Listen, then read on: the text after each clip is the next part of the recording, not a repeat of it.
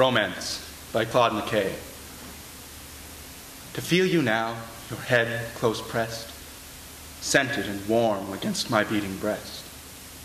To whisper soft and quivering in your name, and drink the passion burning in your frame.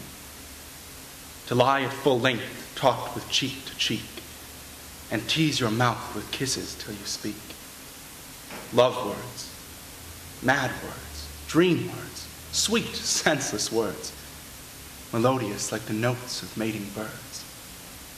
To hear you ask if I shall love always, and myself answer to the end of days. To feel your easeful sigh of happiness when on your trembling lips I murmur, yes. It is so sweet. We know it is not true. What matters it? The night must shed her dew.